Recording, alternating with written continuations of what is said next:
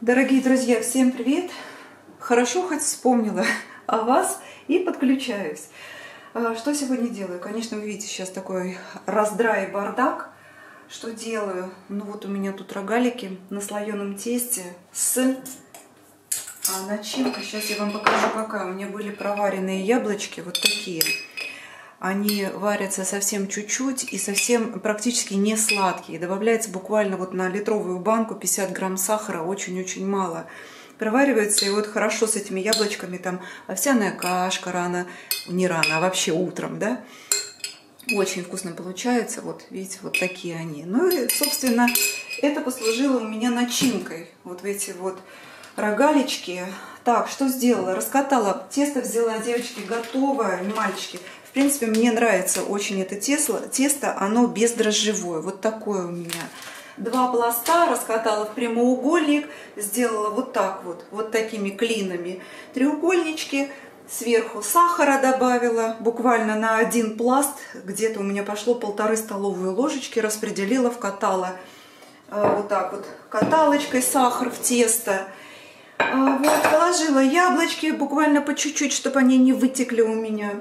Все, сейчас я просто растительным масличком буквально чуть-чуть вот так вот промажу сверху, для того, чтобы сахарком чуть-чуть, буквально по щепоточке присыпать.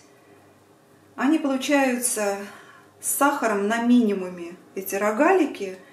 Вот. Невероятно вкусные, не переслащенные. Девочки и мальчики, попробуйте. Как быстрый вариант готовки, почему бы нет. Ну и сейчас у меня уже были проварены все овощи и подготовлены все-все ингредиенты для того, чтобы я сегодня быстренько сделала зимний салат. Зимний салат, по-другому он еще называется оливье, но я его люблю называть зимний салат. Вот. О, соседи проснулись. Слышите, что делается у нас? Опять ремонтируемся. На самом деле, со вчерашнего вечера нет горячей воды. У нас два стояка, один стояк в ванной, там есть горячая вода. А другой стояк – это кухня и гостевой туалет, там как раз вот отсутствует горячая вода. Вот, видите, за разговорами я все покрыла. И сейчас буквально чуть-чуть, чуть-чуть, чуть-чуть. Если давать какую-то другую начинку, ну, например, сыр или еще что-то, тогда сахар не нужно добавлять. И сверху можно кунжутными семенами присыпать.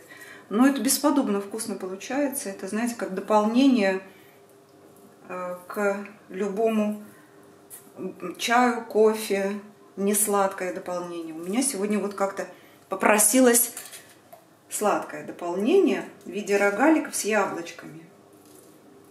Если вот таких яблок нет, как я делаю? Я измельчаю яблоки, на сковородочку их с, с этим, со сливочным маслицем топленым, чуть-чуть сахара туда в яблочки, пережариваю, как бы карамелизую яблочки, остужаю. У меня готова начинка. В любой пирог, в любое блюдо.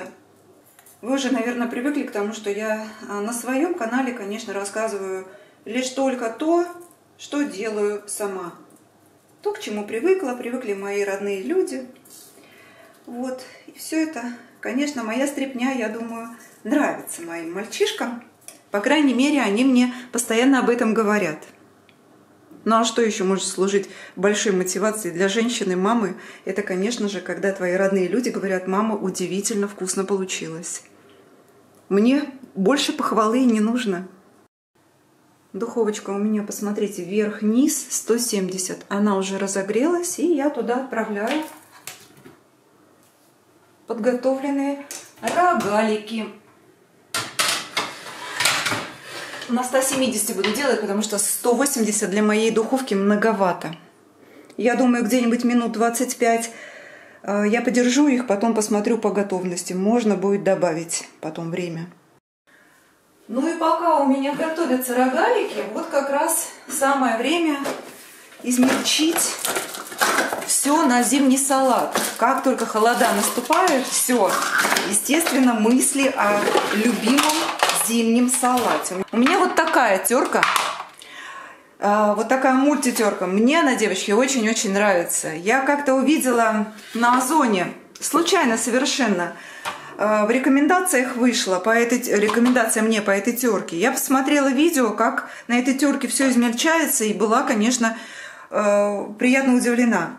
Что нравится, что вот если что-то ты берешь на терку, например, да, на такую более опасную, как вот этот, например, нож, да, где можно порезаться, дойдя до него, есть вот защитный купол, на который я фиксирую то, что мне надо измельчить, и прекрасно все практически полностью измельчается. А, давайте начнем с того, что совершенно не реклама, я даже вам название этой терки показывать не буду. Очень понравилось, я заказала ее год назад, и вы знаете, когда она ко мне приехала, мы замучились есть салаты, которые я постоянно крошила этой теркой.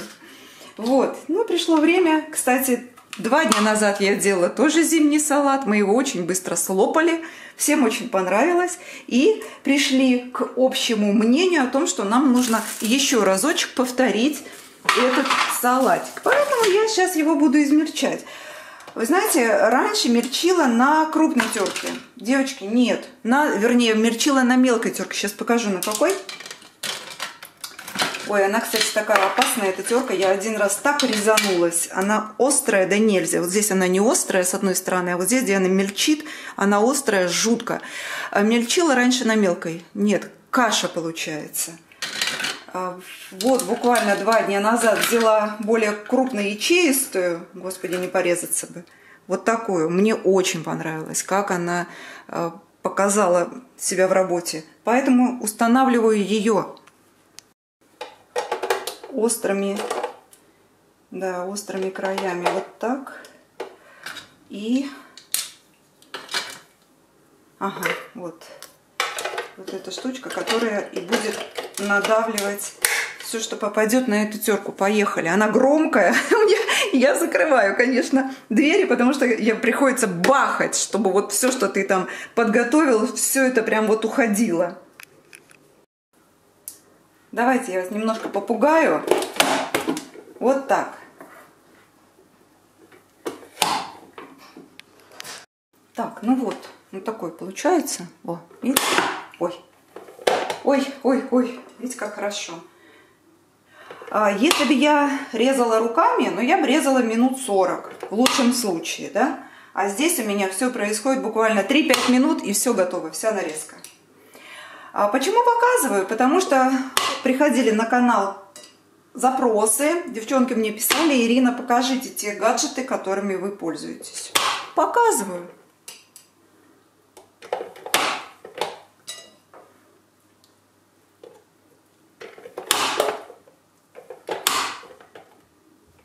Вот так. Вот так получается. Очень классно. Единственное, что я беру на мелкую терку, это лук. Сейчас будет громко.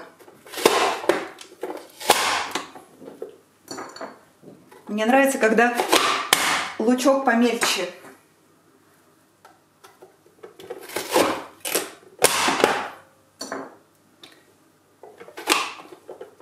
Все, это единственное, что было громко. Все остальное не так. Вот видите? Помельче он получается. Я его как бы на, на кольца режу, измельчаю, вы видели, да, что все, все там вдоль яйца у меня режется, и колбаска кругляшочками. То есть крупно, по-любому нужно все это чуть-чуть э, уменьшить в размерах, и все, а потом на терку. Все, моментально все получается. Так, зеленый горошек. Кто бы мне что ни говорил, вот люблю бандюэли все огурчики, которые мы вместе с вами закрывали, собственного посола, в этом, в маринаде чили. Очень, вот, конечно, вкус салата в большей части зависит от исходных продуктов, которые мы туда добавляем. Если все вкусное, то, что мы туда добавляем, то и будет салат очень вкусный. Ну, я думаю, наверное, огурца три. Я делаю салат, конечно, три мужика у меня как присядут есть, так все, полмиски не будет. Ну, у меня завершающее измельчение. Это морковка и картошка.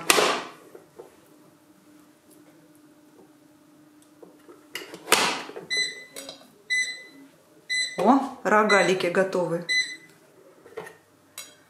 Очень быстро, очень нравится мне все это дело. А, а моется она, ну, я не знаю.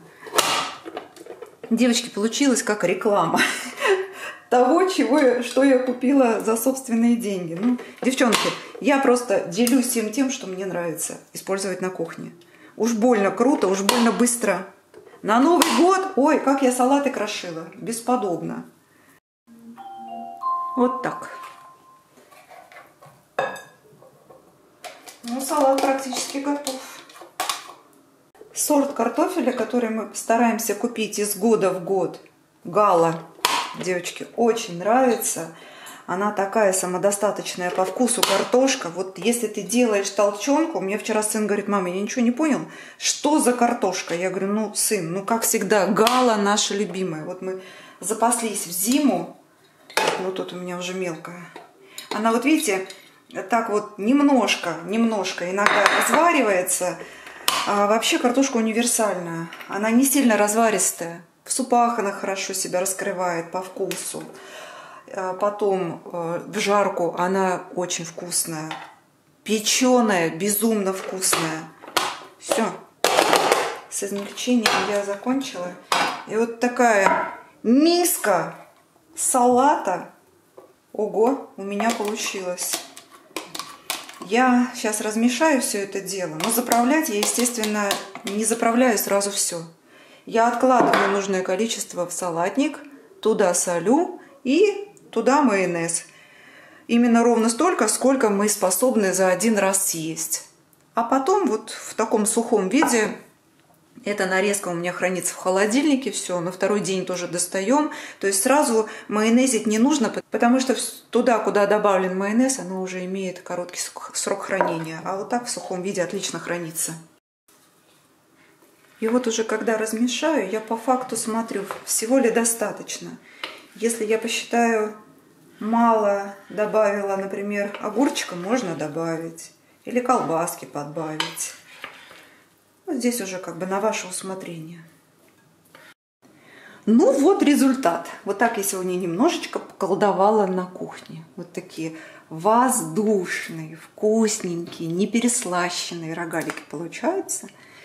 Ой, красота, вкуснота. Ну что, нам приятного аппетита. Если захотите повторить, девчонки, мужчин, повторяйте. Очень-очень все вкусненько. А этот салат «Золотая серия салатов» безумно вкусных нами с вами. Ну, тут что еще рассказывать про этот салат зимний. Все, я желаю вам хорошего аппетита. Всех обняла, поцеловала. Едим дальше дома. Пока-пока и до новых встреч!